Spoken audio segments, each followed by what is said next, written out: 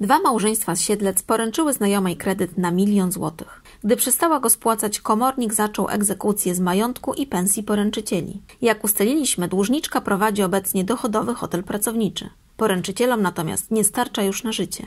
Mogą nawet stracić domy. Jak doszło do tej sytuacji i czy dłużniczka zostanie w końcu pociągnięta do odpowiedzialności, dowiecie się z artykułu Justyny Janusz Kredyt pełną gębą.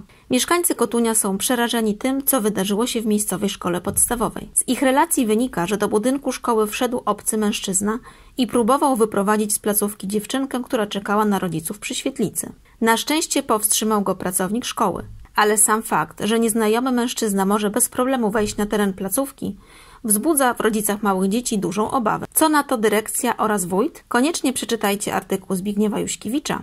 Próba uprowadzenia dziewczynki. Piękna dolina Liwca w okolicach Sowiej Góry koło Jarnic przyciąga turystów. Płytka woda, mini plaże z czystym piaskiem, cisza i nieskażona przyroda wokół to wystarczająca zachęta, by tu przyjechać. Jednak osoby, które wypoczywają nad Liwcem, często łamią wszelkie reguły i jadą samochodem przez prywatne łąki aż nad brzeg rzeki. W ostatnim czasie mieliśmy tu prawdziwy najazd. Nad rzeką stało ponad 50 samochodów. Wjechali tu nie pytając nikogo o zgodę, bo tak im się spodobało.